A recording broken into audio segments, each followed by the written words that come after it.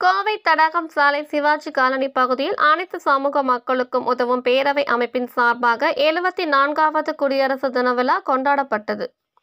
கோவை தடாகம் சாலை சிவாஜி காலனி பகுதியில் அனைத்து சமூக மக்களுக்கும் உதவும் பேரவை எனும் அமைப்பு செயல்பட்டு வருகின்றது. இந்த அமைப்பின் தலைவராக வழக்கறிஞர் புஷ்பானந்தம் உள்ளார்.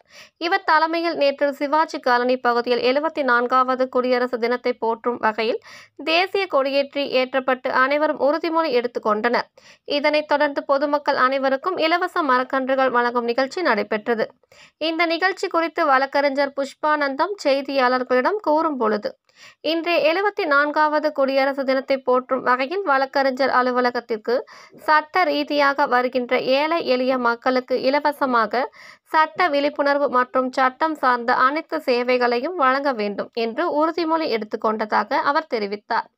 இந்த நிகழ்ச்சியில் அதிமுக முன்னாள் கவுன்சிலர் ராஜகோபால் விஜயகுமார் வழக்கறிஞர் மணி முருகன் நீலமயம் அறக்கட்டளை தலைவர் சௌகத் அலி பைரவர் சித்தர் கணுவாய் சாமியார் அம்மா வடவள்ளி முனைவர் காந்திமதி வங்கி ஊழியர் உமா மதிமுக சார்பாக மார்ஷல் கலைமகள் அகாடமி இயக்குனர் டாக்டர் மகேஸ்வரன் செல்வபுரம் திமுக பிரதிநிதி அன்பழகன் காயத்ரி வழக்கறிஞர்கள் குமாஸ்தாக்கள் லட்சுமி கணேசன் திவ்யா தேவராஜ் பூசாரிப்பாளையம் ராஜேந்திரன் தாமோதரன் தனபால் ஜெபா மோகன் ராஜா வர்ஷினி வர்ஷா ஈஸ்வரன் என பலர் கலந்து கொண்டனர் என்பது குறிப்பிடத்தக்கது.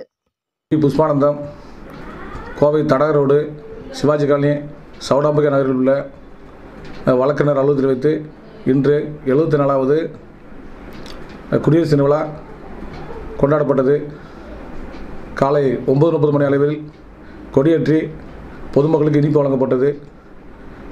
இது பகுதி மக்களுக்கு கொ- கொடி கொடியேற்று விழா முடிந்தவுடன் மரக்கன்றுகளும் இலவசமாக எனது அமை அமைப்பின் சார்பாக வழங்கப்பட்டது. இன்று நாங்கள் கொடியேற்றி முடிந்தவுடன் அனைவரும் ஒரு உரிமொழி எடுத்துக்கொண்டோம். அதாவது வழக்கறிஞர் அலுவலகத்துக்கு வரும் ஏழை மக்களுக்கு இலவச சட்ட ஆலோசனை வழங்கவும் தேடி வரும் மக்களுக்கு இலவசமாக கோர்ட்டில் நீதிமன்றத்தில் வழக்கு தொடுக்கவும் அதுக்குண்டான அனைத்து செலவுகளையும் எனது அமைப்பை ஏற்றுக்கொள்ளும் என தெரிவித்துக் கொள்கிறேன்.